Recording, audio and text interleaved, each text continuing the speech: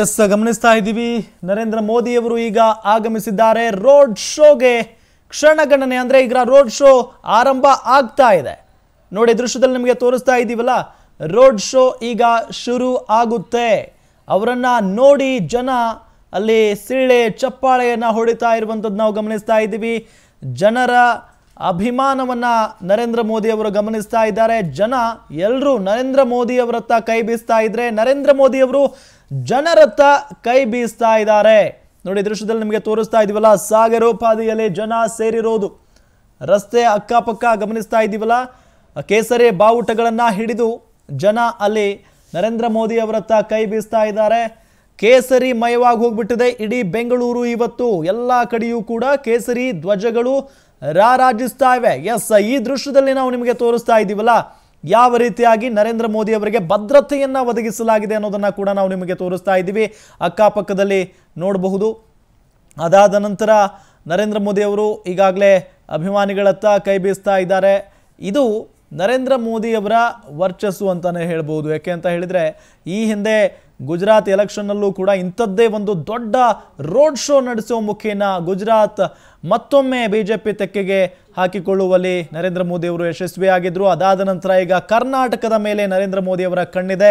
ಈ ಬಾರಿಯೂ ಕೂಡ ಶತಾಯ ಗತಾಯ ಬಿ ಜೆ ಪಿಯನ್ನು ಅಧಿಕಾರದ ಗದ್ದುಗೆಗೆ ಕೂರಿಸಲೇಬೇಕು ಅನ್ನೋ ಒಂದು ನಿಟ್ಟಿನಲ್ಲಿ ಬಹಳ ಪ್ರಯತ್ನವನ್ನು ಪಡ್ತಾ ಇದ್ದಾರೆ. ಜೊತೆಗೆ ಬೆಂಗಳೂರಿನಲ್ಲಿ ರೋಡ್ ಶೋ ಮುಖೇನ ಮತಯಾಚನೆ ಮಾಡ್ತಾ ಇರುವಂಥದ್ದು ನಾವು ಗಮನಿಸ್ತಾ ಇದ್ದೇವೆ.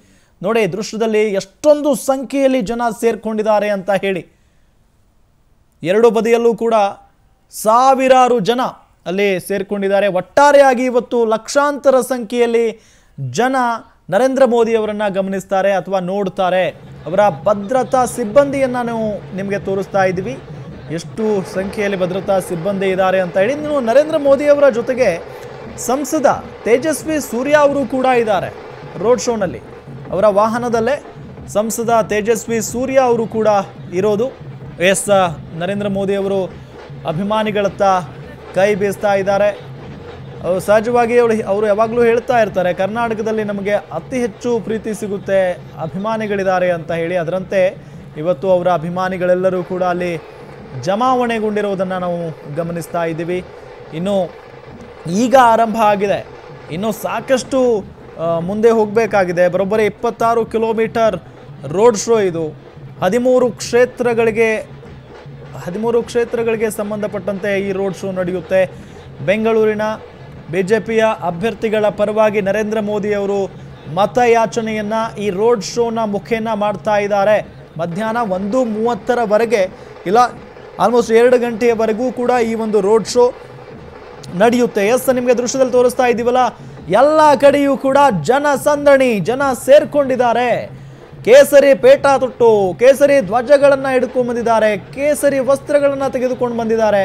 ಒಟ್ಟಾರೆ ಸಂಪೂರ್ಣವಾಗಿ ಬೆಂಗಳೂರು ಇವತ್ತು ಕೇಸರಿ ಮಯವಾಗಿ ಹೋಗಿದೆ. ದೃಶ್ಯದಲ್ಲಿ ನಿಮಗೆ ತೋರಿಸ್ತಾ ಇದ್ದೀವಿ. ನರೇಂದ್ರ ಮೋದಿ ಅವರನ್ನ ನೋಡಿ ಎಷ್ಟೊಂದು ಸಂತೋಷ ಪಡ್ತಾ ಇದ್ದಾರೆ, ಖುಷಿ ಪಡ್ತಾ ಇದ್ದಾರೆ ಅಲ್ಲಿನ ಜನ ಅನ್ನೋದನ್ನ ನಿಮಗೆ ತೋರಿಸ್ತಾ ಇದ್ದೀವಿ. ಇದು ನರೇಂದ್ರ ಮೋದಿ ಅವರ ವರ್ಚಸ್ಸು. ಕೇಸರಿ ಧ್ವಜಗಳನ್ನು ಕೂಡ ನಾವು ನೋಡಬಹುದು. ಇದೇ ರೀತಿಯಾಗಿ ನರೇಂದ್ರ ಮೋದಿಯವರು ಯಾವ ಯಾವ ರಸ್ತೆಗಳಿಗೆ ಹೋಗ್ತಾರೋ ಅಲ್ಲೆಲ್ಲ ಕಡೆಯೂ ಕೂಡ ಕೇಸರಿ ಧ್ವಜ ರಾರಾಜಿಸ್ತಾ ಇವೆ. ಎಸ್ ಕೇಸರಿ ಪೇಟವನ್ನು ತೊಟ್ಟಿದ್ದಾರೆ ನರೇಂದ್ರ ಮೋದಿಯವರು ಆ, ಒಂದು ತೆರೆದ ವಾಹನದಲ್ಲಿ ಎಲ್ಲರಿಗೂ ಕೂಡ ಕೈ ಬೀಸುತ್ತಾ ಅಲ್ಲಿ ಮತಯಾಚನೆ ಮಾಡ್ತಾ ಇರುವಂಥದ್ದು. ಇದು ಸಹಜವಾಗಿ ನರೇಂದ್ರ ಮೋದಿ ಜೊತೆಗೆ ಬಿ ಜೆ ಪಿಗೆ ಭಾಳ ಪ್ಲಸ್ ಪಾಯಿಂಟ್. ಇದು ವಿಧಾನಸಭಾ ಎಲೆಕ್ಷನ್ ಇರಬಹುದು, ಆದರೆ ಮುಂದೆ ಬರುವಂಥ ದೊಡ್ಡ ಎಲೆಕ್ಷನ್ ಲೋಕಸಭಾ ಚುನಾವಣೆ ಇದೆಯಲ್ಲ, ಅದರ ಮೇಲೆ ಬಿ ಜೆ ಪಿಯವರು ಸಹಜವಾಗಿ ಕಣ್ಣಿಟ್ಟಿರ್ತಾರೆ. ಜೊತೆಗೆ ಇದೇ ಸಂದರ್ಭದಲ್ಲಿ ಭಾಳಷ್ಟು ಪ್ರಚಾರವನ್ನು ಮಾಡಿ ಮುಂದಿನ ಲೋಕಸಭೆಗೂ ಕೂಡ ಇದರಿಂದ ಭಾಳಷ್ಟು ಸಹಾಯ ಆಗಬೇಕು. ಆ ರೀತಿಯಾಗಿ ಇಲ್ಲಿ ಮತಯಾಚನೆ ಮಾಡ್ತಾ ಇರುವಂಥದ್ದು ನಾವು ಗಮನಿಸ್ತಾ ಇದ್ದೀವಿ. ಸಹಜವಾಗಿ ನರೇಂದ್ರ ಮೋದಿ ಅವರು ಈಗಾಗಲೇ ರಾಜ್ಯದ ಕೆಲವು ಭಾಗಗಳಲ್ಲಿ ಹೋಗಿ ಸಮಾವೇಶದಲ್ಲಿ ಪಾಲ್ಗೊಂಡು ವಿರೋಧ ಪಕ್ಷಗಳ ವಿರುದ್ಧ ವಾಗ್ದಾಳಿಯನ್ನೇ ನಡೆಸಿಬಿಟ್ಟಿದ್ರು. ಅದಾದ ನಂತರ ಬೆಂಗಳೂರನ್ನು ಟಾರ್ಗೆಟ್ ಮಾಡಿದ್ದಾರೆ. ಈಗ ಬೆಂಗಳೂರಿನ ಹದಿಮೂರು ಕ್ಷೇತ್ರಗಳಿಗಿಂತೂ ಹೆಚ್ಚು ಕ್ಷೇತ್ರಗಳಲ್ಲಿ ಇವತ್ತು ರೋಡ್ ಶೋ ಇರುತ್ತೆ.